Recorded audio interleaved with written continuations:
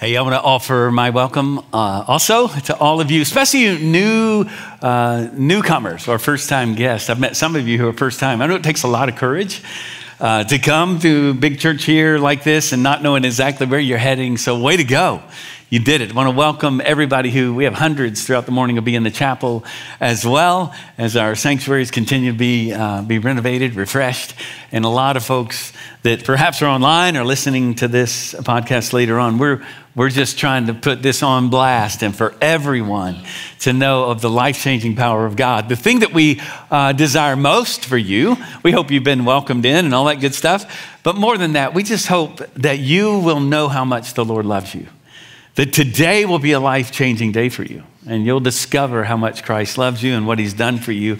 Today, we're going to continue, of course, this series uh, in his image. Today, we're going to talk about what happens when we get a little twisted, our desires get twisted, and we get off track of what it is and what it means to be fully integrated, embodied, uh, fully present humans, because we're all prone to, to slip away. We're going to talk about uh, addiction today. Uh, now, before you think, well, I'm not an addict, not so fast. The Bible says in Romans uh, 3:23, "For all have sinned and fallen short of the glory of God, and apart from the power of God in our lives, we're all we are all addicted to whatever desires we have within us. And the problem for many of us is we don't do the deep work that it takes to overcome our addictions. I love that Paul, arguably the greatest you know, Christian who ever lived in Romans 7, he says, I find myself doing the very things I don't want to do. In fact, he gets it because the Spirit of God's in him, as it is in those who follow Jesus. And he says this I find myself doing the very things I hate. Anybody in the room? Do we have any addicts in the room? Mass confession. We all have go to sins. Y'all, y'all lying to yourself right now. Um, that's a problem. We're going to talk about that. Uh, we got to be honest. We got to get honest. And today, we are praying. We have prayed this morning that the Lord would do a work now, like right now. Like right now, today, we would give up those go to sins, and we all have them. And what I want you to do in order to apply this, always teaching towards application, I want you to think what is your go to sin? Throughout the morning, I want you to think about that. Let the Spirit speak to you. It could be a lot of things, just to prime the pump. It could be that you have fits of anger. You, you say things over and over again you wish you didn't say. Coming back to apologize. Maybe it's, maybe it's pornography. Maybe it's your phone. Now I'm preaching. Maybe it's your screens. Maybe it's your, your go to is something that is some diversion. Maybe you're trying to medicate some pain in your life and you know it. Maybe you drink too much. Maybe you're, maybe you're lazy. I mean, there's all kinds of possibilities here. And the day, today, what we want to see happen, we're praying for the Spirit of God. We prayed for you that you would wake up today. In 1 Peter chapter 5, it says this be alert and sober minded. Your enemy, the devil, prowls around like a lion looking for someone to devour. This says a lot. One thing, we, there's an enemy coming after us, and we are in a spiritual battle. And so today, what I'm gonna do is, I want today to be a day for all of us, myself included. We would not leave this place without drawing a line and saying, I'm done. I don't have to live with that particular sin in my life anymore. And it is true. The power of God gives us the possibility to overcome. So I want you to turn to James chapter 1. I'm going to set this up and then we're going to introduce our guest for today. James chapter 1. Everybody turn there. Verses 12 through 15. There's a lot of passages we, we could go to. The Bible speaks to addiction a lot more than you realize. Uh, we put that term on a lot of things, but you see it throughout Scripture. We're going to talk today about overcoming addiction, okay? Again, we're all addicts. Every single one of us. And what we'll see in this passage, three things I want you to see if you're taking notes here uh, the perseverance. Um, the blessing of perseverance, the first thing. Then the source of temptation, important to understand the battle we're in. And then finally, the consequence of unchecked desires and how serious this topic is tonight, or this morning. Um, so, first of all, I said tonight. We're going to be together Wednesday night talking about this, diving a lot deeper. We'll talk more about that in a moment. Uh, first of all, the blessing of perseverance. Okay, Paul has been talking about trials and temptations, and they are similar but there's nuanced differences, okay? And we'll, we'll talk about that today. Look at verse 12. Blessed is the man. This is the same word Jesus uses in the, the Sermon on the Mount. Um, the Beatitudes, okay? The good life belongs to the man who remains steadfast, the woman who remains steadfast under trial. For when he has stood the test, he will receive the crown of life, which God has promised to those who love him. Okay, what he's saying here is be alert be watchful. Again, today's a wake up call. Some of us have fallen asleep in our sin and we've drifted and we continue to drift and it's going to do and is doing greater damage in our lives than we even know. You never sin in a vacuum. Your sin always impacts others. And he says you're going to get the crown of life. Now, the language here is not a crown like a king or a queen. This is a crown like a wreath. You probably know this. Athletes back in the day, we just finished the Olympics here. This was a garland that was put on a victorious, okay, athlete. So it's a crown of honor and a crown of victory.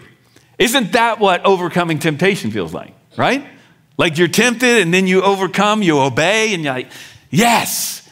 But here's the question I have for you Are you really in this fight? Are you truly fighting off sin in your life? Because this is the sanctification of our lives. All the way till we see Jesus face to face, we are seeking to become just like him. That's what it is to be a disciple. So remember the blessing of perseverance in those moments of temptation. That's important. Secondly, look at this the source of temptation. Look at what Paul, uh, uh, James says here. Let no one say when he is tempted, I'm being tempted by God. Like, don't say, God's trying to trip me up. Why is this happening? For God cannot be tempted with evil, okay? He's impervious to evil. He has nothing to do with evil. So he says, he, he tempts no one. But each person is tempted when he is lured and enticed by his own desire. Okay, again, these word, the word trial is, is peirasmos in the, in, the, in the Greek. The word can mean trial or temptation. That's why you see both of these here in James, depending on the context. So he kind of shifts from, okay, stay strong, persevere, but he's talking now about temptation that comes our way. This is now tempting, being tempted to sin, and he's saying that, listen, there's only one person to blame. There is an evil one who comes after us, but it's you and your evil desires. It's not God, but God does test us, okay? Difference between testing and temptation. He does put us to the test. And here's what we, we've talked about often here. Um, oftentimes we're tempted to sin and we think, ah, our mindset is, our neural pathways run to, ah, temptation, here comes sin. And some of us, this is why we're addicted to particular go to sins. Ah, here comes temptation, there I go. Instead of, ah, here comes temptation, not an opportunity for sin, opportunity for obedience. There's an opportunity here to say yes to God. And this is going to happen to you all day long today. It's going to happen all week long. You're going to have an opportunity. This is discipleship. Will I go the way of Jesus or will I go the other way? So the blessing of perseverance helps us remember the crown of life and that we're going to honor him in every way. The source of temptation is that we're in an evil, we're in a battle. We're in a war, is what it is. And then, thirdly, I want you to see this the consequence of unchecked desire. How serious this is today for each of us to get honest. Verse 15 Then desire, when it has conceived, gives birth to sin, and sin, when it is fully grown, brings forth death. Look at this sin has deadly consequences. Sin, by its nature, is self destructive and ultimately leads to death spiritually even physical death. It can happen, right? And ultimately. But check this out James is saying lust gets pregnant, has a baby named sin, sin grows up and becomes the killer.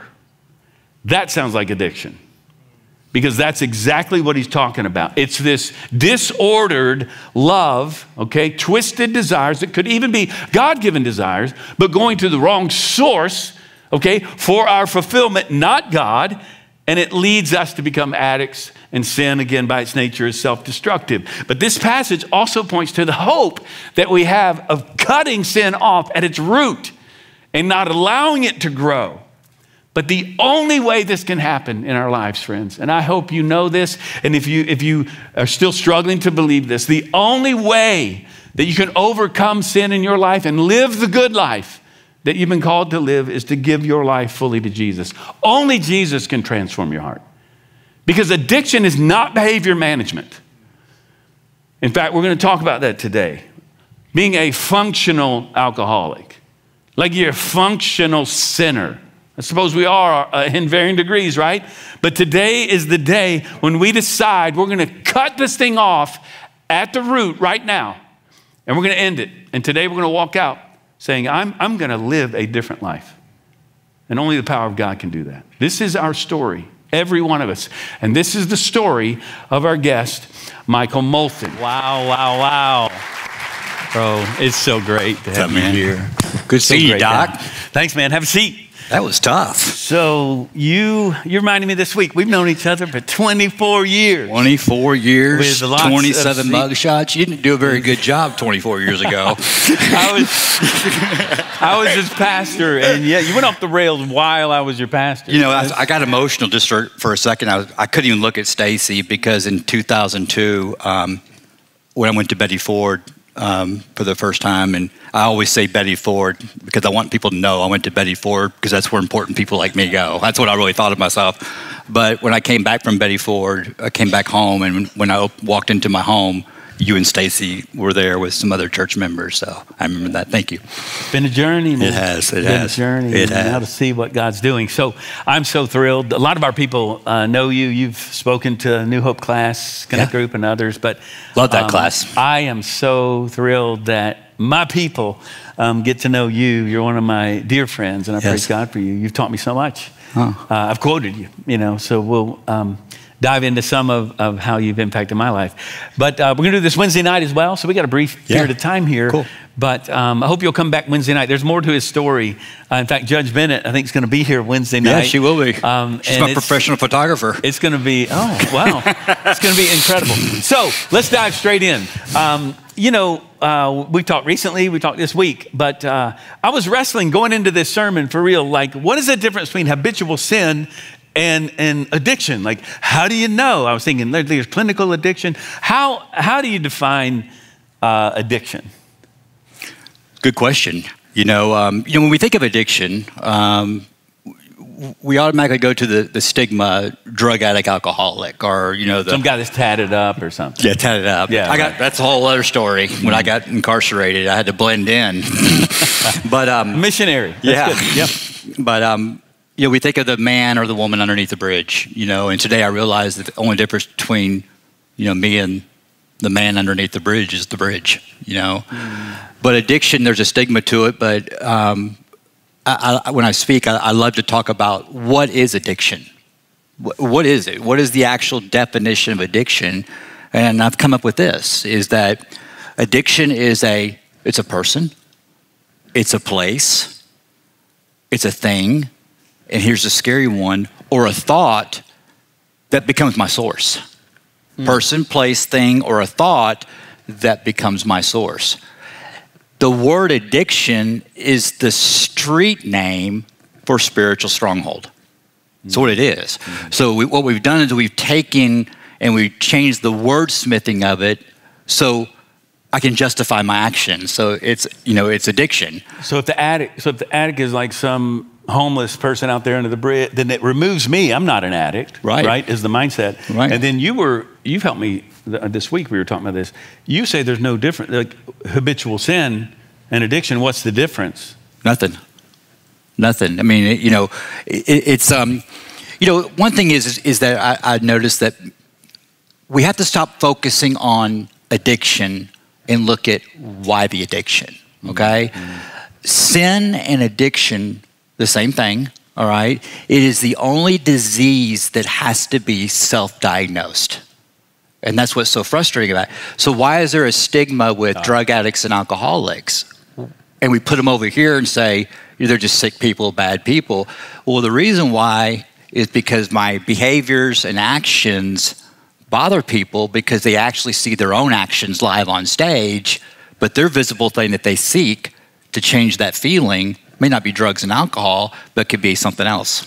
So we got to get to the invisible, hmm. right? We got to get underneath and see the real problem. So I have been, gosh, I went to a meeting with you. Some of us have been 12 step, you know, meetings.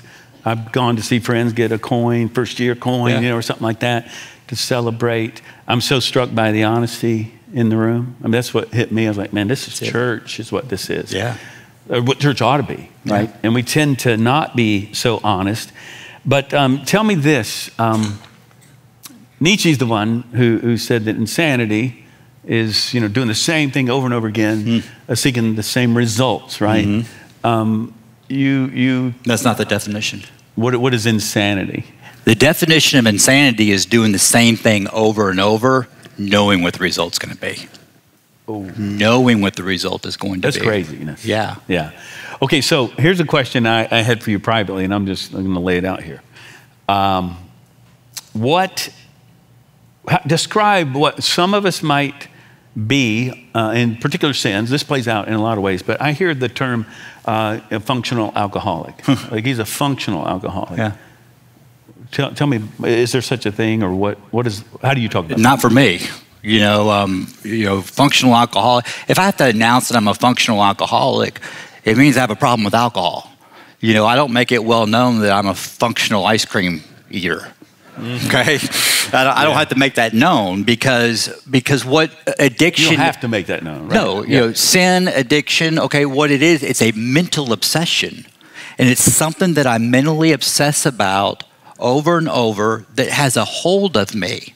It owns me, and I'm willing to go to any lengths to get that fix. Mm-hmm. And I'm powerless over it and my life becomes unmanageable as a result of that. And it could be work, it could be power, it could be shopping, it could be gambling, it could be golf, it could be all these things. It's like, God dang, him too. I mean, how do I live life and have fun? Okay. Mm-hmm. And what it is is that we recognize that we're doing it. See, before I never could recognize the behaviors. What's the difference then between a, a, a social drinker and mm. an alcohol? I know I'm, I know I'm running alcohol, but we're trying to apply this. It's okay. No, what's the difference between social? It's a great question because um, the difference between a social drinker and an alcoholic, an alcoholic will drink before the event, and if they find out that there's no alcohol at the event, they don't go. Or if they go, they stash alcohol, go to the bathroom and drink it, or drink after, and they hide it. The social drinker, the event is more important than the drink. They're not thinking about it. They're like, okay. I mean, they're not driving to the event going, golly, I hope they have, you know, alcohol there. It's just not even a thought in their mind. So, what is the, um, you talk about getting to the real source of the problem uh, maybe a twofold question. Why is it that so many of us who've experienced trauma, mm. as you have in your life, mm-hmm. abuse in your mm-hmm. past, mm-hmm. why is it, and we all have varied you know, relative trauma in our lives and our past. Maybe we didn't feel unloved, I didn't feel whatever. Um, we're trying to medicate a pain or something there. Talk to us about that. Um, why do so many people who experience trauma tend to have a trigger towards addiction? And what what is it to get to the real source of the problem? Well, my personal experience and my story was I wasn't a believer. You know, so I was always seeking visible things to fix my invisible problems. Mm-hmm. And and my story is growing up, I had true criminal childhood trauma, right? And then I finally found something that would ease the pain and comfort. It goes back to what I'm saying is that we have to stop focusing on addiction and start focusing on why the addiction. All right. And trauma. Trauma is always the underlying reason. And I would seek these things, chemicals and substances, invisible things, because I was trying to accomplish one thing. I was trying to accomplish, I wanted to ease the pain and the suffering. The pain and the suffering. Um, so it takes a deep, deeper work. I mean, that's the thing. Uh, habitual sins in my life that I've overcome or, or wrestling with, um, it takes a deeper dive. Why am I doing this? Not just, this is bad for me. I need to buck up. I need to work harder, get better, mm-hmm. right? And for all of us who are in habitual sin, um, I'd ask, how's that working out for you? Mm-hmm. Working harder, getting better.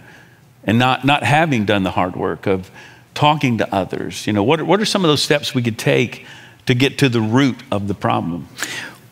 Great question. You know, my entire life, I was always, when, when someone asked me, like, Michael, it's a cycle, we see it coming, we see it happening, you know, and they would just say, Why do you drink? Why do you make these decisions? Why do you do drugs? And it would make me so angry inside. It would make me so angry inside, and I would just steer away from those people, okay? Here is true honesty. True honesty is simply the three words that I said after my 27th mugshot, and I had this spiritual awakening, mm-hmm. and it's this I don't know. I don't know. It's okay to say that. That's, I don't know why I'm doing the things I'm doing. The root, that's the first thing. Then is that's true I've got to admit, okay, well, I'm powerless over this thing, um, and I I don't know, which then should lead us to seek help, right? That's right. That's the next step. Right. So, what was it for you at the root of of your issues? How could you name it? Like, what was it at the root? of it all. When you, when you got honest, um, you had a lot of, I think, built up resentment in your life. Absolutely. And it's all fear driven. It was all fear driven. You know, um, fear, the acronym of fear is false evidence appearing real, right? Mm. Fear is not real. It's when I'm in the future alone in my head. That's where fear lies. That's where Satan wants me to be. He wants me to be in the future alone in my head. If I don't do anything with fear, because it's an opportunity. If I don't do anything with fear, it turns into resentment. If I don't do anything with resentment, it turns into anger, mm. rage, isolation, paranoia, and I start drinking. Wow. What is the solution to fear? And no one's ever gotten this right. The solution to fear is real simple talk about it and say, I don't know. Yeah, that's good. I don't know why I'm feeling we, the way We, talk, we say this often um, I'm only as sick as my secrets. Yeah. Right? Yeah. And, and when you bring it out into the open, this is, and this is where the Spirit starts to convict all of us. The courageous moment is when you say, I don't know. Mm-hmm. I'm doing what I'm doing. I need to get underneath it and I need help. Mm-hmm. And, we're, and when you get sin, can, it's why confession is so powerful, mm-hmm. right? Um, when you get sin out in the open, bring it to the light, it can't grow. Yeah. Certain things grow in the dark. Sin grows in the dark. That's right. So uh, tell me this. You, we'll talk about this later at another time. You're coming to our Men's Connect lunch, yeah, by the way. Can't wait for that. September 12th. Bring our, it home. With our men, uh, guys, women, you know, make sure you get this on his calendar because you say that the problem in our culture is really not addiction. There's another problem. What is yeah, it? Yeah, our, our crisis today is the missing man. The missing man. We have a lot of males, but the but we were missing the missing man. When I was incarcerated, um, I, mm. I, I noticed, including myself, 100% of my cellies, my cellmates, the inmates, had little or no relationship with their father. Mm. Not one father ever came and visited people. It was always the grandmother, the mom, mm. the aunt, the baby mama, you know, whatever it is that came and visited, mm-hmm. but there was never a father yeah. present. Wow. And it's time for men to take back the dinner table. It's good. That's good. That is the root. If we have a messed up man making a contribution to his family, we're going to create a messed up family. Mm-hmm. And it goes to the neighborhood, the city, the church, the county, the state, the country, and the world. That's, that's powerful. We'll talk about that at the Men's yeah. Connect. That's good. Um, okay, we got time for, for one last question or, or really thought. You, um, one of the most impactful things that you share with me, this has been some several, a few years ago. We're together having lunch and we're talking about this, and I just asked you straight up, um, Michael, uh, help me. How do you do this? Hmm. How do you do this? And I've, I've quoted you here I've, I've, and, given you credit, all the things, um, to say, um, man, how do you stay clean? Like, like how, how are you able to overcome addiction in your life? And, and I could say it for you. You tell me. You, you said, here, what's the key? I keep reading New We serve. Okay. When I'm serving and getting out of self, just like I'm doing right now, I'm not thinking about the future right now. I'm not thinking about the past right now. I'm right here, right now, because that's where God's at. So Safest place in the world. It's in the in the present. Right and the here. way I've I've parsed it out, you said the key is to live in the present. Yes. Right? Because if you go into the past, if I go in the past alone in my head, I get um, I get depressed, depression, resentful, regrets, angry, regrets. And if you go into the future, if I shift the view in my head, then I jump over to the future alone in my head. I get fearful, anxious, worry, you know, all this stuff. So I do this game back and forth in my head. Meanwhile, The now is right here. Mm. Okay? And so, in order to get into the now, I took my first drink, ah, boom. And I had this euphoria of being in the now. Okay? Playing golf, exercising, whatever it is to get that euphoria of being in the now. So, how do I stay there? I do more. Mm. I do more until um, God allows it to happen. He'll, he'll, have, he'll allow me to have all the control I want for everything to get completely out of control for me to hit my knees and turn to him to realize I never had control in the first place. So, the, yeah, the takeaway for me and what I've preached uh, literally to our people is so helpful, so freeing, is to live in the present. Yeah. Because, uh, yeah, going back to the past or the future, I mean, you, and we do this jumping around. I need to get out of the past, so I'm going to go to the future. Yikes, that's not so good. Yep. And it's to live in the present and then to, in the present, is to serve, get outside of myself and serve others, where everything, all this comes back to and we know that every 12 step program comes back to, to God and to Jesus as the source, right? Mm-hmm. He's the one who said, well, you know, what's the greatest commandment? How do I live this life? Love God, love others. When do I do that? Now. Right. And it means that now, for me, it's to be fully present, focused on whomever God's put in front of me, mm-hmm. um, and whatever He's called me to do in the moment. Mm-hmm. And that has been so freeing. And in the moment, He's calling us to serve others. That's the way to live, right? right? So it all comes back to Jesus, doesn't right. it? So we're going to talk a lot more about this on Wednesday night. Come, we'll be right here at six o'clock, and uh, you'll be able to bring your questions as well. We're going to hear more of his story, and he's going to do a little teaching moment. But then we're going to have a, the bulk of the time will be uh, q&a okay let's thank michael everybody thank michael for being with us Thanks, man. today man. thank you so much mm-hmm. praise the lord all right so, hey, before I uh, hand it off to our, uh, our folks in the, in the chapel, I just want to offer this really to, to land this in 2 Corinthians 10 uh, 3 through 5.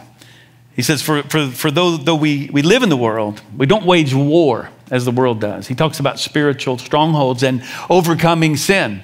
And the way that we do this is not through worldly weapons, it's through the spiritual weapons that God has given us which include prayer, His Word, all kinds of things. He says, This is how we break down and demolish strongholds in our lives. And he says, we, we demolish arguments that come at us. When the evil one is telling us, we, we need to do this or do that, or you're not enough, you're not loved enough, or whatever the thing is, when we do the deep work, he says, we hold every captive to make it obedience to Christ. Obedient to Christ. And, and here's the challenge before, um, before we close this time Many of us, we have the tools, everything we need for life and godliness. But one of those great tools is to do it together. So, one of the ways you can draw the line today is to say, I'm going to stop dating the church. I'm, I'm going to commit. I'm stepping in. What, what are you going to do? Is my question. And for some of you, it's that. You've been coming here, you need to make a commitment to join the fellowship of the church. Now, if that sounds strange to you, before that, certainly there's a, there's a decision you need to make, which is to receive Christ as your Lord and Savior.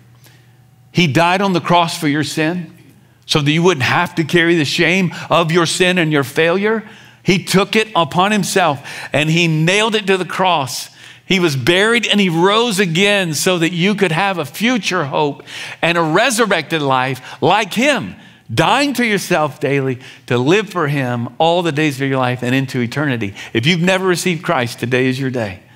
And we're going to be here for you to help guide you and help you. We want to help you find a connect group to get in. Some of you need to say, I'm going to act, I'm going to do something. But maybe for many of us, it's simply saying, I'm going to tell somebody, I'm going to talk. I got to get this out in the open. And for some of us here today, that, that might be easy. You have loving people around you who are going to love you in. Others, it might be the most courageous, difficult thing you've ever done in your life. And it's going to save your life. And today is the day. You don't have to live this way anymore because the power of God is here to change your life. Okay? So I want to pray and then we'll continue on this morning. Lord, we thank you for this time. We praise you for not just Michael's life. We leave uh, today into this day, not simply, wow, what a great story, or what a great man, but what a great Savior. What a great God who can do the same thing in my life. And so, Lord, we give you our lives. We belong to you, and we turn to you. And we pray all of this in Jesus' name. Amen.